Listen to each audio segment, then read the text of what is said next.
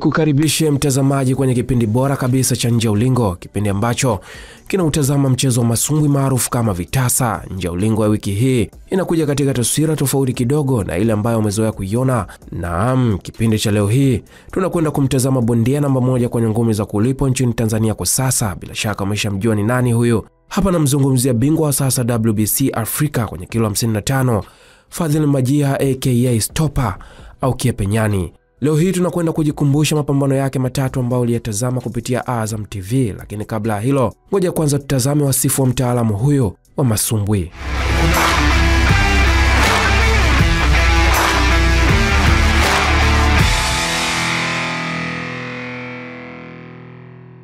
Kwa majina yake kamili kama ambavyo anatambuliwa na mamlaka ya kiserikali ni Fadhili Omari Majiha. Majiha alizaliwa tarehe tatu ya mwezi wa 8 1993 kwenye hospitali ya Mwananyamala iliyopo wilaya ya Kinondoni hapa jijini Dar es Salaam. Mwananyamala kisiwani ndipo ambapo Fadhili Majiha alipatia makuzi yake sambamba na elimu yake ya msingi ambayo alipatia kwenye shule ya msingi Mwananyamala kisiwani. Kwa lugha nyingine, huyu bwana ni mtoto wa Mwananyamala kisiwani, kama ambavyo vijana wa sasa wanasema. Ukuaji wake uliambatana na kujihusisha na matukio mbalimbali ya utovu wa nidhamu ikiwemo ukabaji, lakini mchezo wa ngumi ukaja kuwa mwokozi kwa kumtoa kwenye shughuli za uhalifu. Fadhili Majiha alijikuta anaanza kujifunza ngumi akiwa shuleni, na mara baada ya mchakato wa kujifunza ngumi akajitosa na kuingia kwenye ngumi za ridhaa, yaani amateur boxing. Maisha yake kwenye ngumi za ridhaa hayakuwa marefu, kwani alicheza mapambano mawili tu, na baada ya kutokuona mwanga kwa upande wake akaamua kujiunga na ngumi za kulipwa ndani ya mwaka 2008. Majiha anacheza kwenye stance ya orthodox na kusifika kwa akili kubwa ya mchezo. Alipanda kwa mara ya kwanza kwenye pambano la ngumi za kulipwa tarehe 24 mwezi wa 5 2008 dhidi ya Ramadhan Kumbele kwenye pambano ambalo lilifanyika kwenye kumbi wa Travel Time. Ndani ya pambano hilo Majeha alishinda kwa pointi za majaji wote watatu, na huo ndio ukawa mwanzo wa Majeha kung'aa kwenye ngumi za kulipwa. Mpaka sasa Fadhili Majeha ameshacheza jumla ya mapambano 51. Fadhili Majeha ni baba wa familia na ana jumla ya watoto wanne. Floyd Mayweather ndiye bondia ambaye alikuwa akimvutia mno Fadhili Majiha.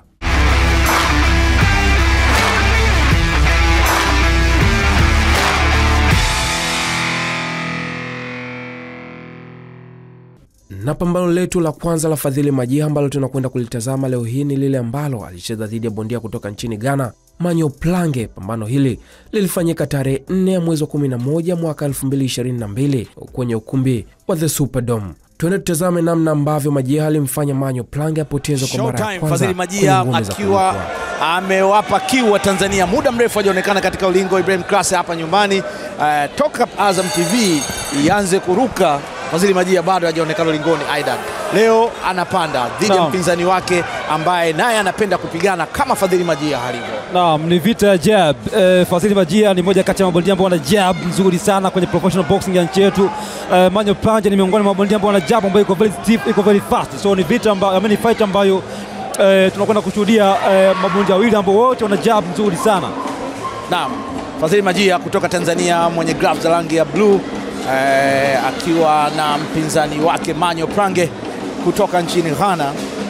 Eh, shughuli kila mmoja kati ya mabondia hawa anasifika kwa kupiga jab kama alivyoweza kusema Aiden, lakini pia eh, Fadhili Majia amekuwa na matokeo mazuri nje ya Tanzania. Ameshachukua mikanda ya Pan Africa na ni mmoja kati ya mabondia ambao kama wangeweza kwenda na kile kilichokuwepo. Nakumbuka wakati ule promota alikuwa ni Shomari Kimbao, alienda naye Philippines na alikubalika sana kwenye kempu ya Manny Pacquiao. Mwenzake eh, yuko Marekani hivi sasa. Fadhili Majia dhidi ya Manyo Pange. Eh, hapa leo ni kupigana, atakavyokuja ndio atakavyorudi.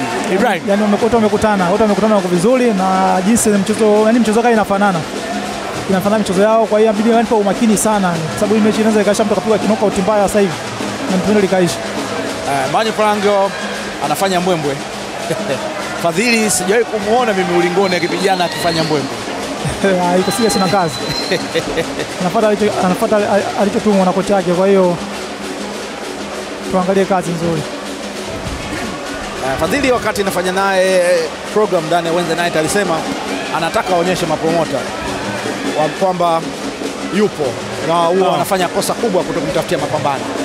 Ametafutiwa, kwa hiyo hili ni platform kwake, ni jukwaa kwake eh, kuweza kuonesha wale wapenzi wapya wa mpira wa boxing ambao wamfahamu, lakini pia kuonesha wadau mbalimbali wa boxing eh, kwamba bado nipo na nina deserve eh, kuendelea kupata nafasi. na alisema Bonabucha yuko katika uzito wake. na Bonabucha ni, ni, ni sparring partner wake pia, eh, mara kadhaa mko kufanya sparring. lakini ali- alideclare yuko kwenye uzito wake. Kama watu wataka pambano zuri waandae. Shughuli ipo pale, kila mmoja akimfanyia timing mwenzake, kila mmoja akimsoma mwenzake. Fadhili Majia, muda mrefu Mbagala kumeinuka sasa hivi. Najua katika vibanda vyote vile hamna cha kitu kingine kinachoendelea. Azam TV iko katika kila kibanda umiza, wakiangalia kwa upande wa Mbagala, mtoto wa nyumbani Fadhili Majiha.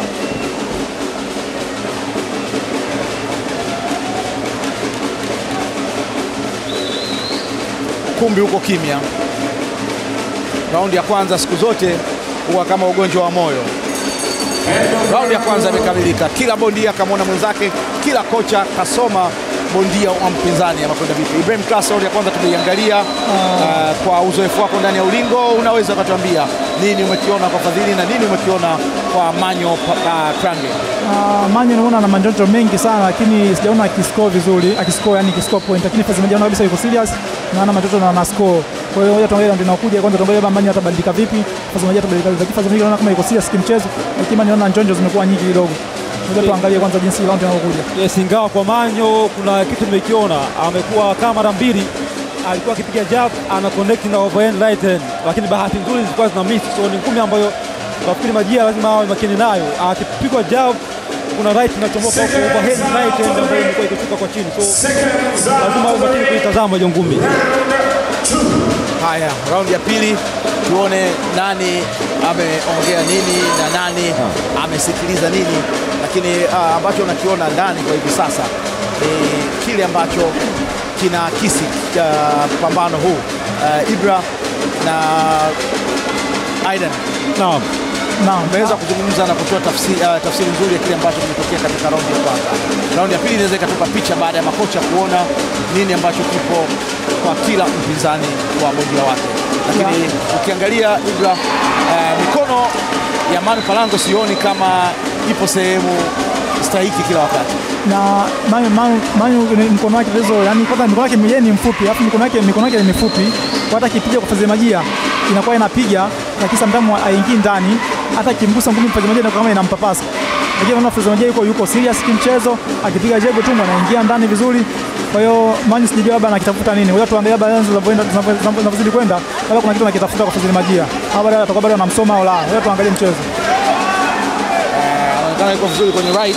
Eh, hiyo hiyo overhand right hand nimekuwa nikizungumza, ndio ambayo ah, amekuwa akitumia sana, lakini bahati nzuri imekuwa ikimiss, haijafanikiwa kuwa landed kwenye, kwenye target.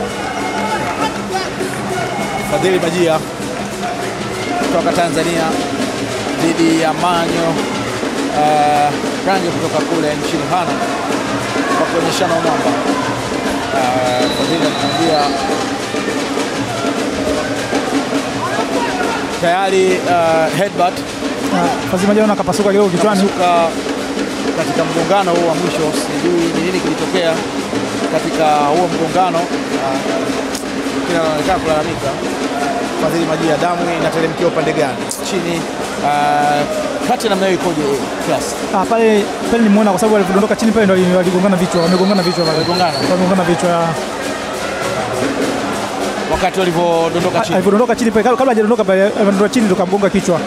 Fazil Majia. uh, kati namna hii kwa bondia, damu ikiwa inadondokea hapo inakuwaje? Inakupa wakati mgumu kwa sababu kuna damu kuna damu nyingine inakuwa ikati sometimes inakufanya sometimes uoni, afu sometimes inamfanya labda mpinzani wanapiga pale pale. Kwa hiyo inaweza kutoa kimchezo ukaona da inakuwa vipi sasa. Kwa hiyo tu pale labda damu ikikata kidogo kwamba itakuwa vizuri. Daktari anauliza, Fadhili anamwambia wewe umenipiga kichwa, lakini uh, uh, referee Pendo Njao anamwambia geuka upande mmoja.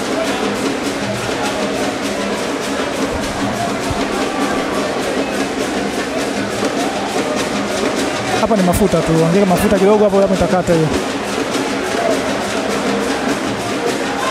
Nafadhali maji yapi, nafadhali maji ni asiweke sana akili yake kwamba nimepasuka hapa, hapana. Yaani afanye apigane. Chombo akisema afikirie bana hapa nimepasuka, atashindwa kucheza mchezo.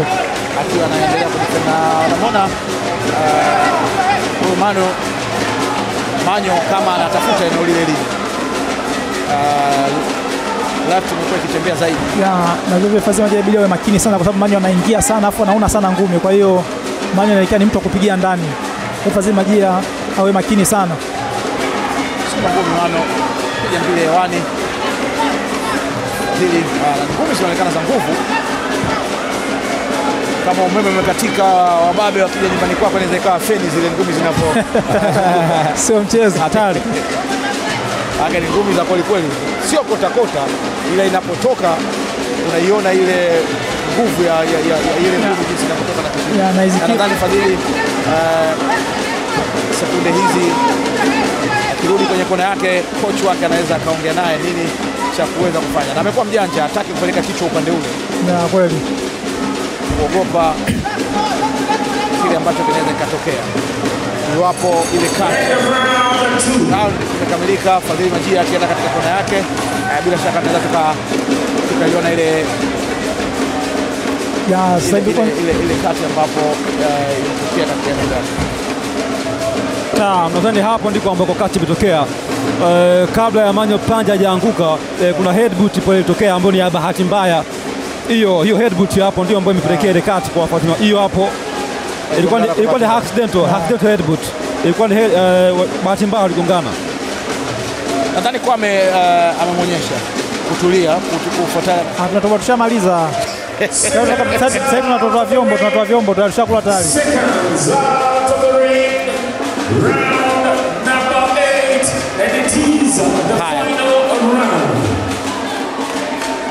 Referee Pendo Njau kama kaida yake anaendelea kulimudu pambano vizuri kabisa eh, akiwa amelitawala pambano raundi ya nane. Fadhili Majia akiwa anatakiwa kucheza na mtaji aliyokuwa nao dhidi ya Manu. Manyo Prange, bondia wa Ghana ambaye kama umepata wasifu wake ni bondia ambaye alicheza Olympic ya Beijing, lakini pia All African Games na kuweza kupata medali katika All African Games kabla hajabadili kuingia katika Naam, na ilikuwa ni medali ya fedha, eh, medali ya fedha silver. Sio, ilikuwa ni medali, ya fedha Yes, akishika ambayo ina maana ni fainali hiyo. eh, nafasi ya pili alipoteza, yani amina alikuwa kwenye finali. Ina maana ukipata medali ya fedha umeingia fainali. Finali, yes. Safi kabisa. Uh, Fadhili Majia Oh, eh, imetoka ngumi moja haraka haraka hapa Ni, counter refu nzuri. kabisa. Manyo Majia anahitaji kuwa makini. Eh, anahitaji kuwa ah, makini kwa sababu tayari sio muoga, ila tu ana target. Ana maamuzi ya maana na maamuzi yake sana sasa hivi kama round zinavyoenda sasa maamuzi yake yanakuwa mazito sana ya kupiga kwa sababu anafikiria sana. Nikipa Zima jana sasa hivi kalegeza mwili na relax, anapiga mmoja anavyotaka yeye. piga ni kupiga na mkono wake wa kushoto na naona uko sharp sana Manyo. na hiyo ni moja kati ya sababu Sharp ambayo lakini apigi target, hana target. naam. Anakuwa kwa nini ana target anaposukuma ngumi yake anafumba macho au nini ambacho kinapeleka asiweze ku reach target yake yani maamuzi yake kwamba anapiga kwamba ya akili. sema yani hicho kinakuwa ni akili kwamba anatumia akili. Kwa uwezo kupiga ngumi mara tatu mara nne unakosa unazidi kupiga ngumi hiyo hiyo. Lazima ubadilishe logo upigaji wa ile ngumi. uh, referee anasema hapana mmecheza pambano vizuri sana nini mnachotaka kufanya haya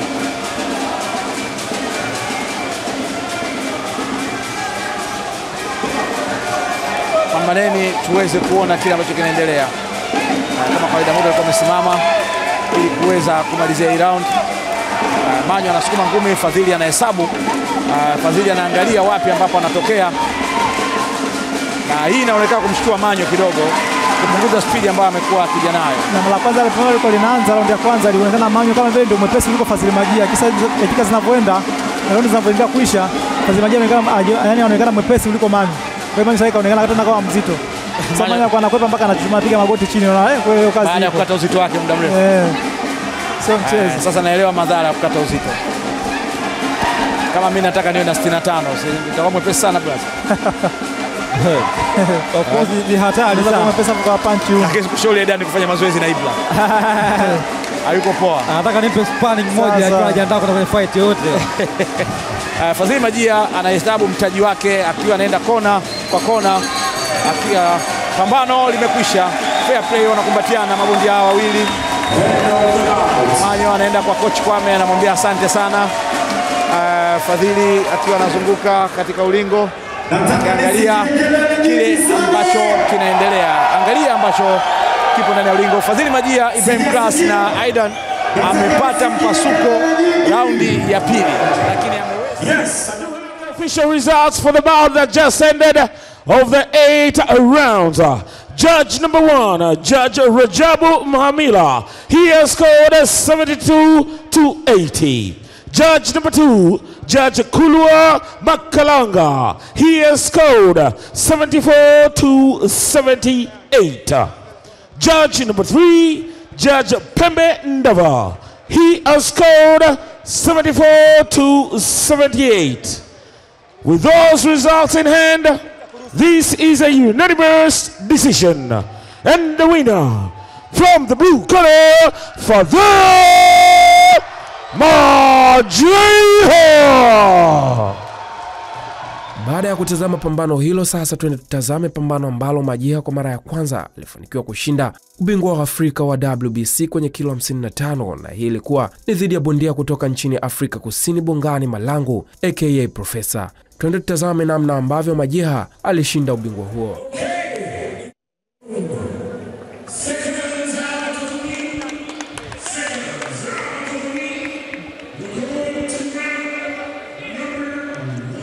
Bongani alizoeleka na rasta zake. Leo hii watu walivyoangalia, tukatoa kofia, akasema Mwalubadu yuko mlingoni.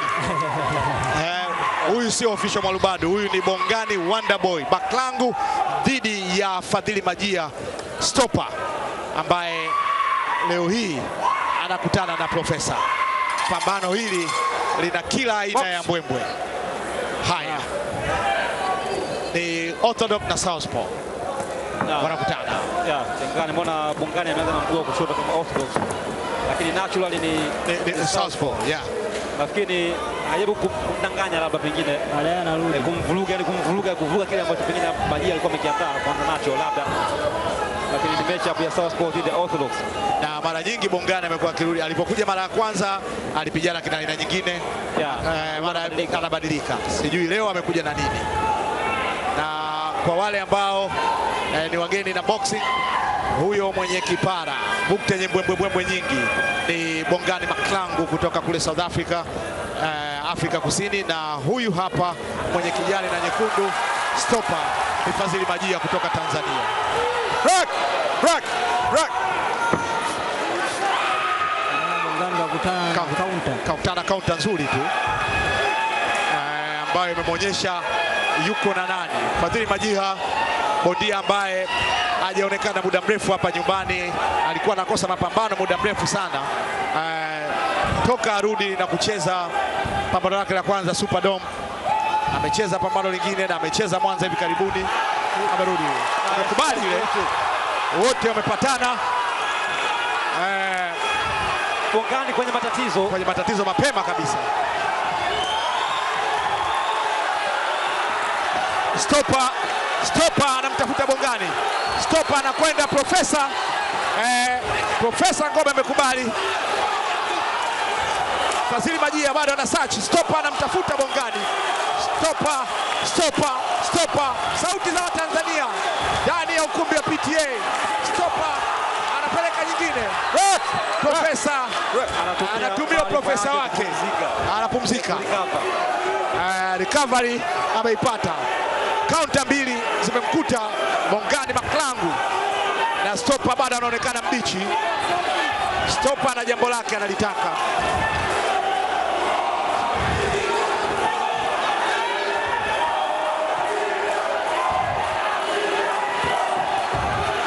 Anasukuma nyingine.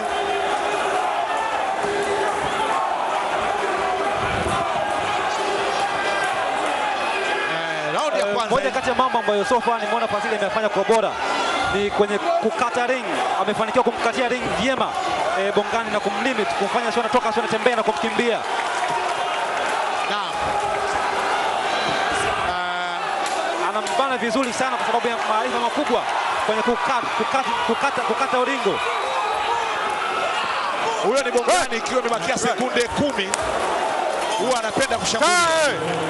Pambano raundi ya kwanza imekamilika, ukumbi umechangamka. Wacha nikuachie makelele kwanza usikie. Naam, naam, ilikuwa ni left huko ambayo eh, Fadhili alipiga na kumletea shida e, Bongani. kwa left hook juu akapiga right hook chini e, kwenye tumbo.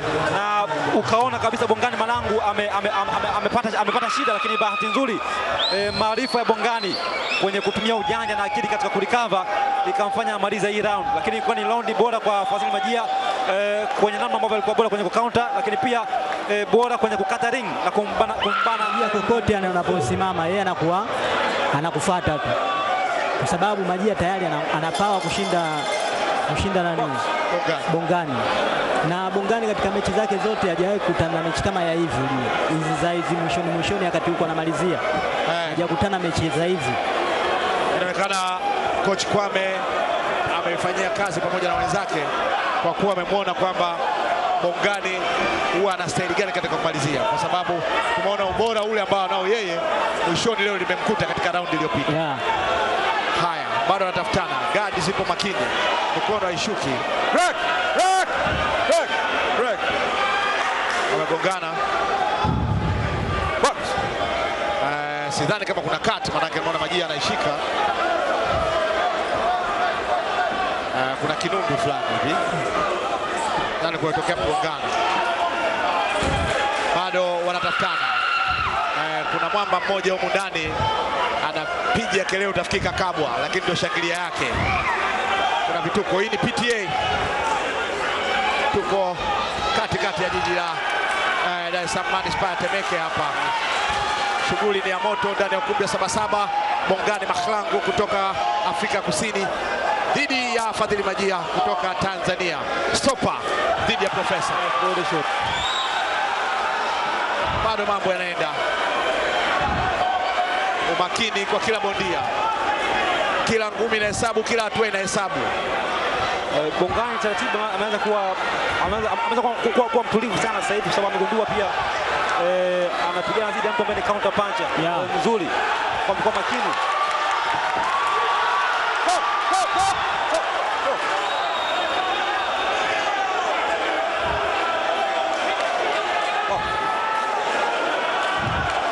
Eh, stopa anataka kustop gani?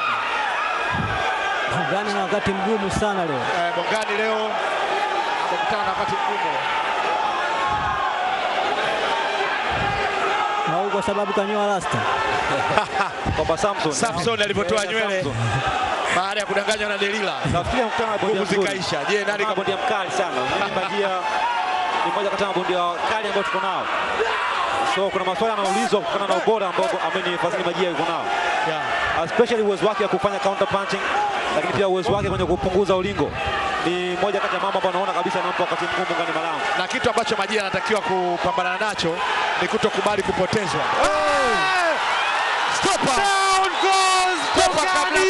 Sakafu. Duma! Duma!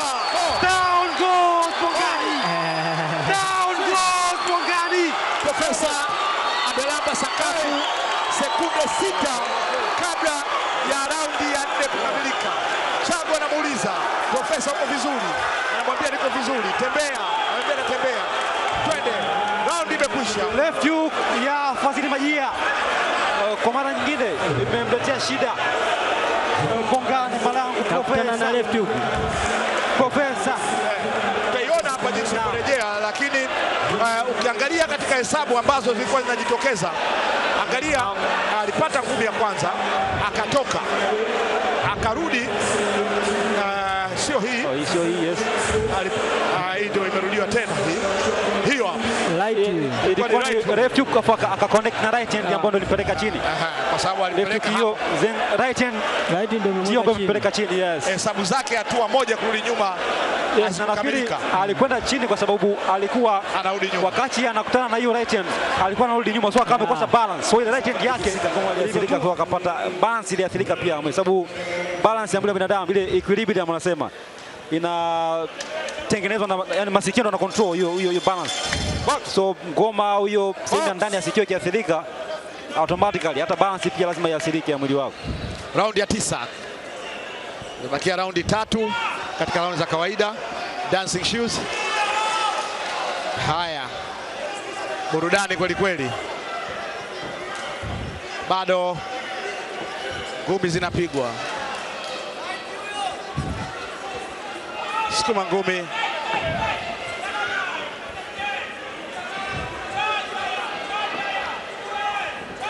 kila mtu anamwangalia mwenzake.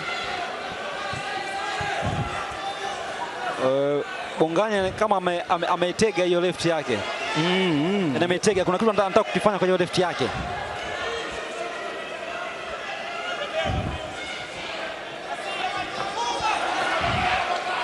Kuna, jam, kuna jambo kweli unaliona, Yaani pale kuna one two au kuna uppercut. kuna kitu anakisubiria.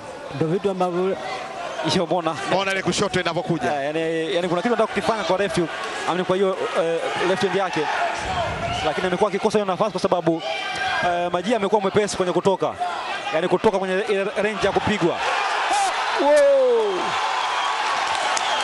Dancing shoes anahesabiwa kwa mara ya pili, Knockdown ya pili anahesabiwa Eh, mara ya pili.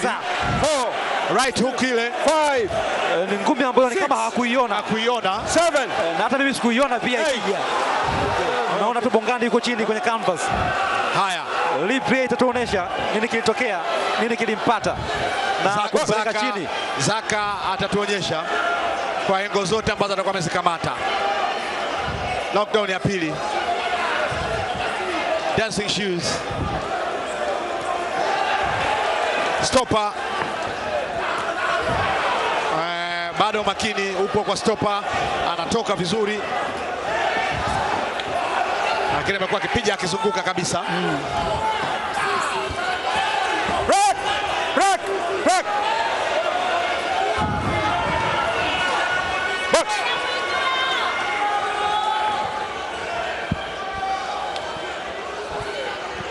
Stopa akipigana kuonyesha yeye ni nani katika, uz, Hey! katika uzito wake Counter Tanzania. left hook nzuri uh, kwa Fadhili Majia.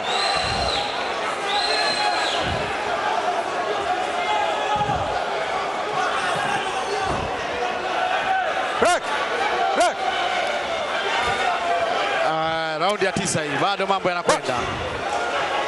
Bongani Makrangu dhidi ya Fadhili Majia. Break. Rack.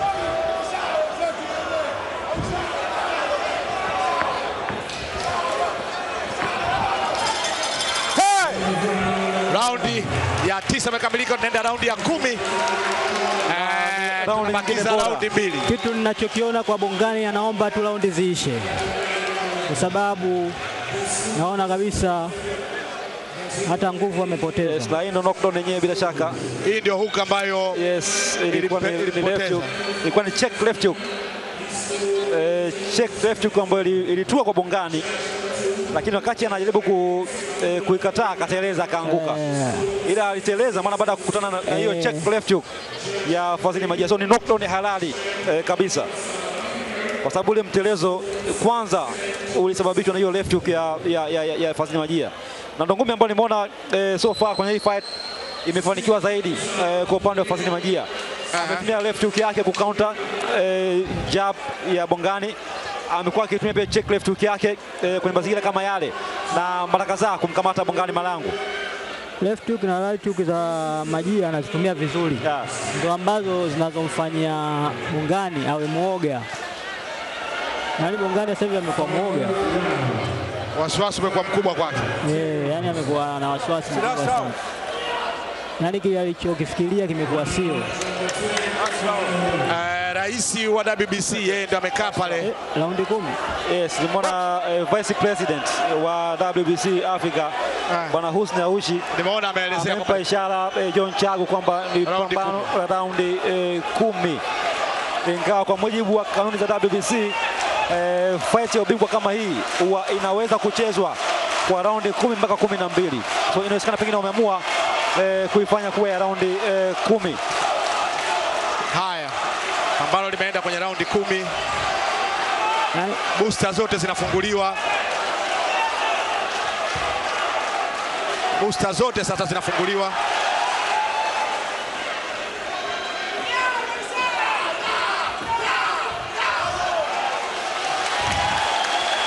Ambalo la moto kwelikweli. Fadhili Majia akiwa na mtaji wa knockdown mbili, lakini pia raundi eh, kadhaa ambazo amecheza vyema kabisa. Bakia muda mchache, Fadhili Majia akibakia na umakini huu huu kuweza kutoa taji la WBC dhidi ya Wonderboy Rastaman Bongani Maklangu.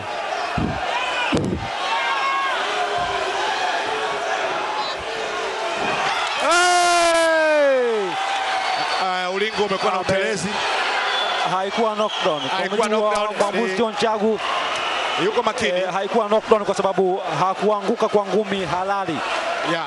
kwa hivyo hakumhesabia.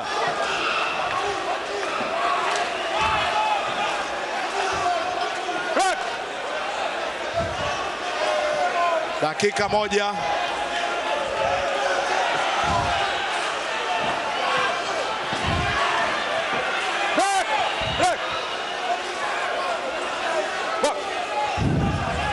bado shughuli ni ya moto. Fadhili Majia anathibitisha kwamba yeye katika uzito wake hapa Tanzania amna longolongo mpaka muda huu kuweza kufikia hapo alipofika.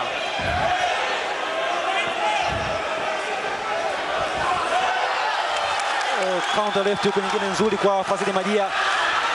Eh, left hook ya Fadhili Majia imekuwa kwenye ubora wa hali ya juu sana eh, kwenye hii fight. Ametumia kukaunta kila ambacho eh, Bongani amekuwa kikianzisha. muda mchache kabla ya kutoa taji. Fadhili Majia eh, ni mwendo tu wa kukimbia na kuhakikisha hamna madhara yote yanayomkuta.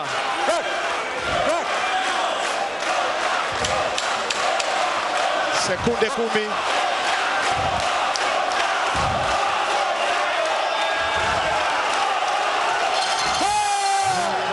Round imekwisha. Fadhili Majia stopa ameweza kufanya kile alichokiongea. Alizungumza jana akasema, South Africa ni ndugu zetu, tumepigana kuwapa uhuru, lakini kwa hili Bongani anisamehe. Nataka wajue stopa ni nani, lakini pia mabondia ambao wako kwenye uzito wangu mimi wafahamu kabisa kabisa haya kwamba mimi ni bora katika uzito huu. Profesa akiwa ameingia ulingoni.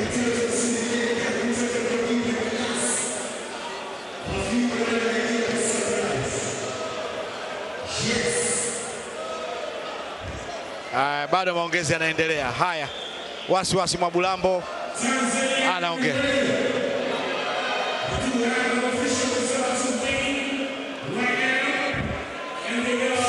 as follows. Judge number one, Judge Abdullah Neneko from Tanzania. He scored 100 to 88. Judge number two, Judge Ismail Koali from South Africa. He scored 96 to 93. Judge number three, Judge Irene from Uganda. She scored 97 to 91.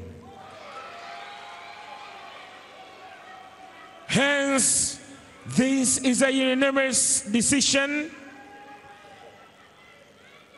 And the new WBC Africa Super Bantamweight Champion PTA. Make some noise for the red corner. Kiepenyane Fadhele Magia.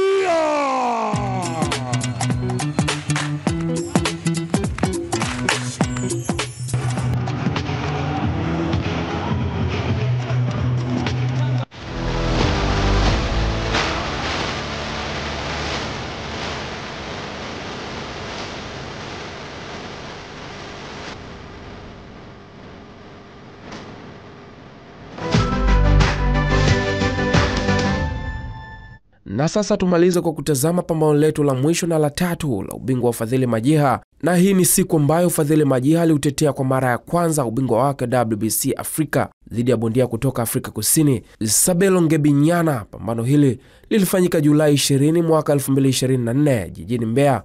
Twende tukatazame namna ambavyo Majiha aliutetea ubingwa wake huo. Fadhili Majiha ambaye yeye ndio ambaye anaotetea mkanda wa WBC Afrika. Je, nini ambacho kitaenda raundi ya kwanza, raundi ya kwanza ambayo tunaenda kuishuhudia kwa wakati huu, Aidan Mlimila pamoja na Leila Macho. Hakika ni wakati mzuri wa kushuhudia au kusimulia eh, kile ambacho kinahitajika, na wakati huo huo Uzi ame ameamua kwanza kusimamisha. Kuna jambo gani hasa ambalo pengine endelea za tukajua Yeah. kitu gani ambacho kimesababisha, kwa sababu referee kwa ameamuru kuanza, lakini baada ya hapo akawa amesimamisha bwana. Bila shaka labda kama kuna haya, endelea. Bila shaka mambo ameshakaa sawa, endelea kama kawaida. Sabelo Ngibinyana dhidi ya Fadhili Majiha. Sabelo si bundia Chelia mwana lakini Fadhili Majiha pia ni miongoni mwa bundia ambaye mbona wasiwasi umeanza mapema au amete- ame- Ame- ameteleza? Ameteleza, Ameteleza. ameteleza. Haya, Na ni mechi hapo ya Sport dhidi ya Orthodox Yeah. kama ambavyo inaonekana hapo. Uh, Sabilonge Biana ni natural kabisa South Sport dhidi ya Fadhili Majia ambaye kiasili pia ni Orthodox. Yeah. Fadhili Majia ambaye ni mzuri sana na body punch ndio kitu ambacho anakiamini. Haya, kwa ameenda bila hesabu nzuri, Yeah. angalia na Sabelo ni mzuri sana kwenye kudokoa na kuangalia namna gani ya kuscore, na ni kama raundi ya kwanza imekuwa na pressure kati ya raundi kumi, kila mmoja akihitaji Kila mmoja anahitaji ushindi. kwenye kona pale. Huyu hapo amesindikiza na right.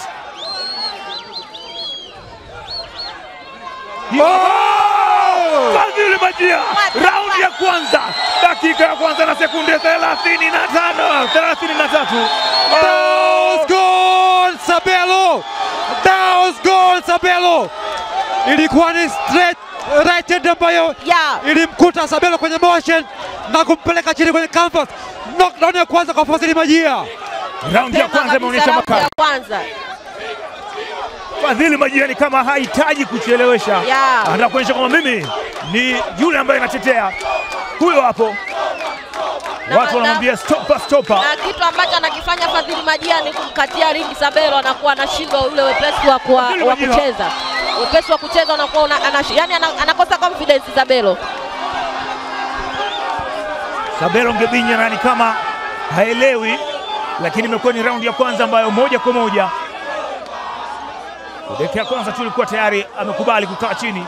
Je, atajiuliza namna gani hasa Sabelo Ngebinya na atautegua namna gani huo mtego? Yeah. Lakini huu ni ubingwa wa WBC Africa, Fadhili majiha ambaye yuko chini ya HB Sadek Promotion wamehakikisha kwamba kila kitu kimekaa sawa mpaka kuingia kwenye pambano hili.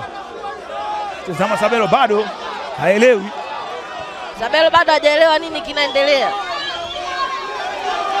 Vile Majia ni kama anaendelea, gadi imekaa juu, amerudi Nafikiri Majia apandishe gadi, asijisahau sana. Shepenyani anaenda kaamua, kaamua kuwa pressure fighter, anaenda akimfuata kwa dakika zote.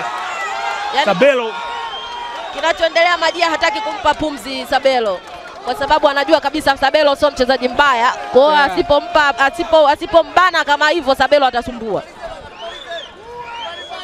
haya, zile, zile sekunde ambayo ilikuwa imesimama Yes, right hand. Sabelo ni kama amekuja na utulivu, lakini amekutana na kitu ambacho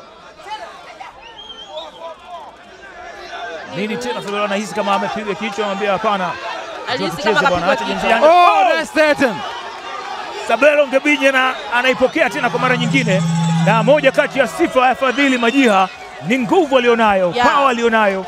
Hiyo ni moja kati ya kitu kikubwa sana. Raundi ya kwanza imeenda kwa Fadhili Majiha. Bila shaka eh, Fadhili Majiha ameweza kucontrol eh, tempo ya na am- amedictate fight kwa raundi yote, lakini pia eh, moja kati ya mambo ambayo yamezidi ku eh, nogesha huo utawala wake kwenye fight ni hii knockdown hapa. Ilikuwa ni straight right hand ambayo ilimkamata Sabelo akiwa kwenye motion Yeah. na kumpeleka chini alikuwa eh, kwenye yes, alikuwa kwenye motion ana move kutoka nje ika akakutana na right hand ambayo ilimsindikiza ili, ili, ilimsindikiza chini na kuzidi kuongeza utawala wa round kwa upande wa Fadhili Majia. Ilikuwa ni round ambayo Fadhili alikuwa kwenye control ya fight kwa raundi Yapo. nzima.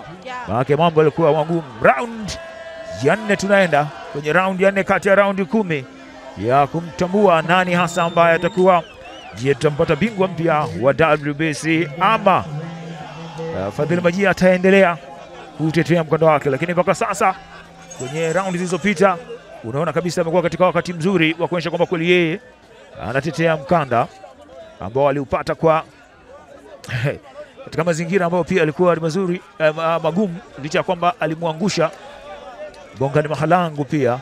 Kwa ni rekodi ambayo inaendelea tayari. Uh, Sabela ukisha angusha kwenye raundi ya kwanza tu. E, kwenye fasi za nyuma ambazo nilikuwa natazama za Sabelo alikuwa ni mzuri sana kwenye kupiga e, jab, low jab, jab ya kwenye tumbo. Huwa alikuwa an, ana- alikuwa na tabia ya, ku, ya kufanya setup ya ngumi za kichwa kwa jab ya tumbo, lakini kwenye hii fight mpaka muda huu kama hivyo sijaona akitumia mara, nyingi jab ya tumbo Yeah. e, kumseti kumseti kumseti Fadhili Majia. E, pengine labda hizo hizo movements za Sabelo za kumove move Yani, zinamfanya ashinde kuwa Adili anaendelea kum, kumimina ama si kumkandamiza, naye pia kumzana akakutana nayo. yes, left nzuri kapiga Sabelo. amepiga Yes. Sabelo ya yaani nafikiri Sabelo hapigi ngumi ile ya tumbo ambayo amezoea kuipiga kwenye faiti zingine, kwa sababu Fadhili ni mtu wa kutumia fursa. Anapopiga yeye ya tumbo huku, lazima atabaki juu wazi. Atakapobaki juu wazi, anaweza akaingia na left zake huki Yeah. au akapiga hata right pia ikamsababisha madhara amegundua hilo bila shaka. Yeah. Angalia namna ambavyo Fadhili amekuwa na uharaka wake unamsaidia akirusha maybe kama ni left, lakini right pia inafuata, au kama sio hivyo anaweza akapiga double kwenye mkono mmoja. Angalia kama hapo, lakini mzuri pia kwenye kuangalia kitu gani ambacho anataka kukifanya Sabelo Ngibinya na hapa ni watu waishaanza kumwimbia bwana. Jiha, tumetoka mbali sie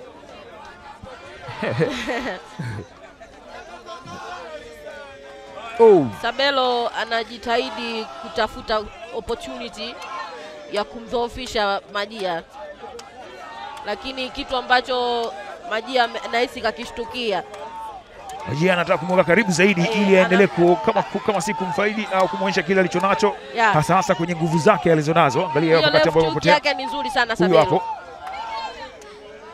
cross eh, strike Nice punch nice, ambayo nice imeenda. Nice Hiyo body shot. tena, Nice left hook. anamtafuta tena akiwa amemsogelea kwa ukaribu zaidi ili wapimane. Angalia huyo hapo Fadhili Majia anamtafuta kwenye tumbo, anaanza juu, anashuka chini, lakini vile vile naye pia anaruhusu Amepiga left hook. Majia anaruhusu ngumi za uso. Na anaruhusu kuguswa na Sabelo Ngibinyana. Ingawa mpaka sasa eh, Sabelo hajafanikiwa sana kwenye hiyo left hand yake ambayo amekuwa akitumia Yeah. eh, mara mara nyingi sana.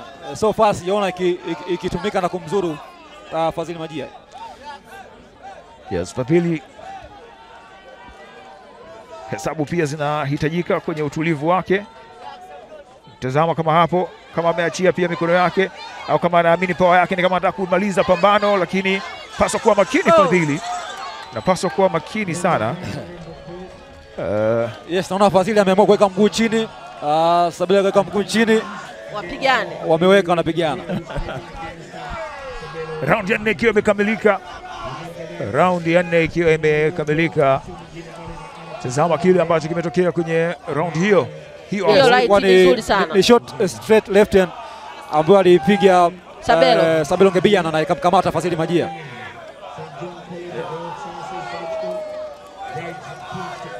amekuwa ni mzuri pia kwa upande wa Sabelo pale ambapo wanapata hiyo fursa au wanapata hiyo nafasi. Mimi nafikiri ningekuwa ningekuwa kona ya, ya Sabelo ningeshauri kwanza head movement yake imekuwa low sana, na ndo kitu ambacho kinasaidia Maji anampiga Hii ligi ilivyokuwa ndefu singekuwaje? Hello.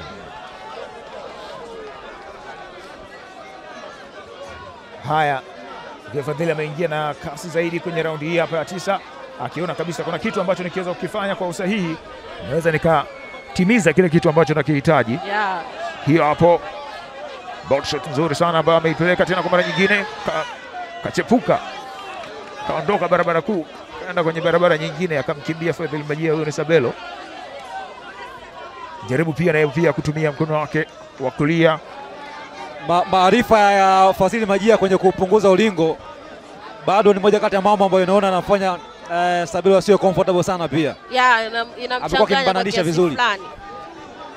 Na Sabelo amekuwa hana ule ujanja wa Basi kama hivyo kusema, eh, anampeleka kwenye ule ujanja wa kutoka anapobananishwa yes. hana,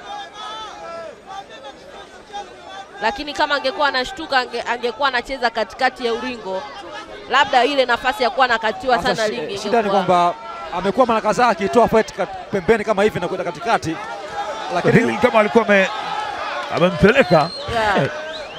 alienda naye, lakini Sabelo akawa mzuri kusoma zile hesabu za Fadhili Majiha kwamba anakuja kufanya kitu gani, akamkwepa hiyo nice one ambayo alikuwa ameirusha pia Sabelo, afuta nayo kama hivyo, na hapa kitu ambacho kinatakiwa ni Fadhili pia kuendelea kuikaunta pengine. Sabelo ni kama akikaa kwenye kona, anakuwa na wasiwasi, wanataka kupigana. Okay, Sabelo nipige nikupige vipi tena? Huyo hapo Sabelo almanusura kwa mara nyingine. Sabelo Ngabinyana usihisi kama ni kazi rahisi, pamoja na kukaa kwenye kona, lakini bado yupo makini, bado wako pamoja, nipige nikupige, ingawa kwamba inaonyesha panchi za kwake uh, Fadhili Majia ndo zina nguvu zaidi, na wote sasa wakiwa sasa, haya. Haya, tuendelee. yes, tumeshuhudia kwa mara nyingine tena anamtoa kwenye kona Fadhili Majia, anampeleka kwa nguvu, lakini amemsukuma na kumpeleka mbali, na Sabelo ni kama anajitafuta sana. Nafikiri kama ningekuwa mimi ningekuwa yes, tumeshuhudia inside fighting ambayo imeambatana na ngumi nyingi ambazo zimemiss. Yeah. Sabelo, yani ningekuwa mimi ndo tuseme nipo kwenye second, ni kwenye masekandi ambao wanamsekandi Sabelo, wangemshauri kichwa kicheze, kwa sababu anampa, anampa urahisi Majia wa wa kuwa anampiga muda wote, anachambua anavyotaka, kwa sababu head movement hamna alafu ame, yani amekosa maamuzi yani, yani yale mipango yake inavurugika kwa sababu ya Majia kumwahi. Angalia bwana hapa kwa papo kwa papo, atafuta engo ya kumtafuta hapo kati, na ameenda nayo anajitafuta tena, anajiangalia Saponi kama akipigwa anaangalia kama kitu gani kimetokea. anaona mahesabu yana- yanabadilika, Fadhili anaona Majia taka- alipeleka straight moja, lakini ilikosekana na vile vile Sabelo. Haya, raundi imekamilika, wanaangaliana vipi? Wananiambia nini wewe? Subiri, si raundi ya tisa bado raundi Yeah. ya kumi. Njoo tuonyeshane kazi. Eh, hii ni kazi ya kiume, kazi ya kipekee, na mimi ndiye ambaye naumiliki huu mkanda. Imekuwa ni raundi ya namna gani, Edani Mlimila? Ilikuwa ni raundi ambayo tumeshuhudia idadi kubwa ya punches ambazo zimemiss kwa sababu ni kama wote walikuwa hawana timing nzuri kwenye round. Walikuwa wanapigania karibu kwenye inside fighting, lakini mbali na kupigania karibu, still tumeshuhudia punches nyingi sana ambazo zimekuwa eh, zikimbizi, sio kwa Fasili Majia Yeah. eh, sio kwa Sabelo Bengebiana pia. Majia alikosa, alikuwa hapigi target, yani alikuwa ana, ana, ana uharaka wa kushambulia kuliko kuconcentrate kwenye target. Yeah. So nafikiri ilikuwa na round ambayo kwa nesha ya mchezo ile inside fighting, kupigania karibu Yeah. kama wote wangekuwa na timing nzuri basi Yeah. kungekuwa na idadi kubwa ya punches ambazo zingetua kwenye target. Of course ingekuwa ni hivyo kwa sababu yani Sabelo alikuwa kwa namna fulani amekubali, kwa namna fulani amekubali, lakini Majia akawa na uharaka wa kupiga. Kama akisema atulie, asiwe na uharaka wa kupiga, anaweza akapata knockdown nyingine. Haya, hii ni raundi ya kumi kati ya kumi, raundi ya mwisho kwa tafsiri hiyo. Eh, raundi ya mwisho. Je, kitu gani ambacho kitafanyika kwa upande wa Fadhili Majiha? Je, jambo gani ambao atalifanya Sabelo? Je, ni nani kuibuka mbabe usiku huu hapa wa leo, ikiwa hii ndio siku kubwa ambayo tulikuwa tukiisubiri, na hawa wanaume wawili wanatuonyesha kazi ambayo inahitajika, kazi inayotukuka. Tazama Fadhili kile ambacho anakifanya kwa wakati huu, kama ana dance hivi, enda kushoto na kulia anamwinda ikiwa labda anawinda kuitumia ile right yake kwa kuiweka kwenye eneo sahihi. Tazama hapo. Haya, vipi tena, namna gani tena? Haya, raundi ambayo pia umakini unahitajika kwa mabondia wote wawili. Sabelo ameshusha gari na ni kitu ambacho hatari sana kwa Majiha ni kama amepeleka konde mfululizo, lakini alikuwa bado hayapati na hapati kitu. Fadhili of course kwenye raundi hii pia Yeah. anatakiwa kona yake ameshamwambia kwamba ni kwa kiwango gani pengine mpaka sasa anaweza akawa amefanikiwa kuwashawishi majaji. Yeah. Yeah. kwa hiyo asi, asi, asilazimishe mambo. Oh, Sabero Ngebinyana ni kama alikutana straight punch ambayo kama ikawa imemlevya, lakini huyu ni miongoni mwa mabondia wagumu. of course At- Sabelo sio mche, sio, so mchovu. Sabelo ni mchezaji mzuri. Ukizungumzia ma professional boxer, ma professional boxer wa South Africa huwezi ukamtoa Sabelo. Ana experience kubwa, uvumilivu pia. Kwa hiyo sio kazi rahisi kumpiga. Haya,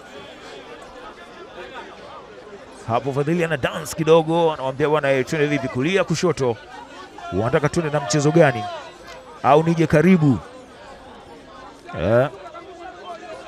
Haumuo ni kama Sabelo mwenyewe ni kama anaona kabisa kwamba leo hii kazi mbona kama Yes, ingawa anayepeleka anayepeleka mwisho, ingawa moja kati ya, ya wapiga picha wetu bwana Salvatore Ngasa alitabiri knockout hii, Yeah. lakini imekataa.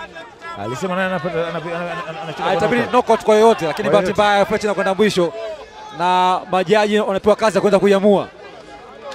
Sijui labda tusubiri kwa sekunde ambazo zimesalia E, nani hasa kuwa bingwa wa WBC kati ya Sabelo Ngebinyana pamoja na Fadhili Majiha kwa dakika hizi sekunde zinazobaki. Round kumi zimekamilika, round kumi zimekamilika. Bingwa wa WBC Africa Fadhili Majiha dhidi ya Sabelo Ngebinyana, mchezo mzuri, kila mmoja bila shaka anafurahi kwa upande wa Fadhili kwa kile ambacho amekionyesha, Yeah. kwa upande pia wa Sabelo Okay. ameonyesha. I do have the results with me from the referees from the bouts that just has, that has just ended, which was the WBC African Championship belt. And here are the results as follows for the WBC Africa Super Bantam Championship. Judge number one, Judge Jonah Chagu. He has scored 99 to 90. Judge number two, Judge Eric Koza. He has scored 98 to 93. And judge number three, Judge Elton Mdojine. He has scored 99 to 90. Hence, this is a unanimous decision.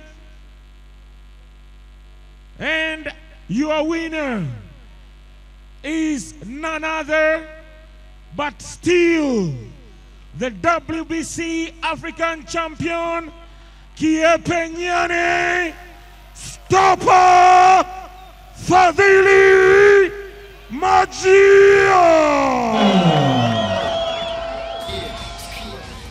Mapambano kutazama pambano hilo la mwisho la Fadhili Majiha, na hivi ndivyo ambavyo kipindi cha Nje ya Ulingo kwa siku ya leo kinavyofika tamati. Tukutane wiki ijayo kwa mwendelezo wa madini ya sayansi tamu ya mchezo wa boxing. Ulikuwa nami mguu wa dhahabu Sharif Bayona.